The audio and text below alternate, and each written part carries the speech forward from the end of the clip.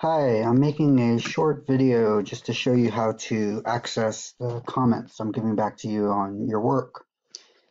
Um, so locate the class that you're taking with me, and when you get into the class, um, you will be directed, I'm sorry, you'll be able to see um, the grade I've given back to you, and um, you'll be able to um, click on that grade and it'll take you to the, the, the grade book.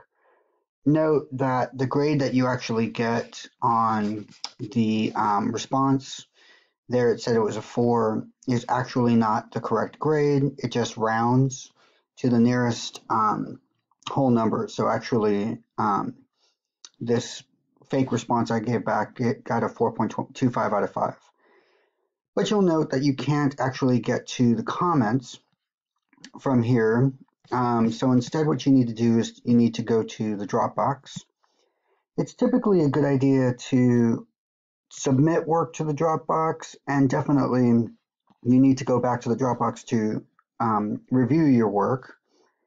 Uh, you'll find that when you get to the Dropbox there should be a highlighted uh, view in the feedback category um, that you'll need to click and when you do, it'll take you to the actual uh, Dropbox interface. And here you'll be able to see the Turnitin similarity report. That's where my comments are. But first, you should review the rubric. Um, ideally, the closer to the left, the better. And, um, you know, let me know if you have any questions about any of the categories in the rubric. Um, we can go over the work. But yeah, to get to the comments, you need to click on the similarity report bar. This takes you into the GradeMark interface.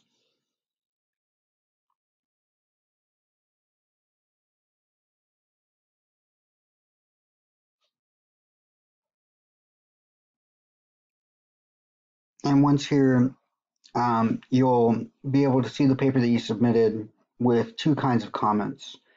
One is the similarity report, and this runs your paper through various databases to see what's been quoted. And it's a good idea to be able to review your paper to see, you know, what you quoted, um, how much quotation to actual analysis, Again, the goal is to come up with something like 10% quotation to 90% analysis. This, of course, is including the works cited page um, and maybe even some heading information so it's a little bit higher. But you can also turn that off and um, then uh, you'll be able to see sometimes more clearly just the comments that I've been uh, that I'll be returning to.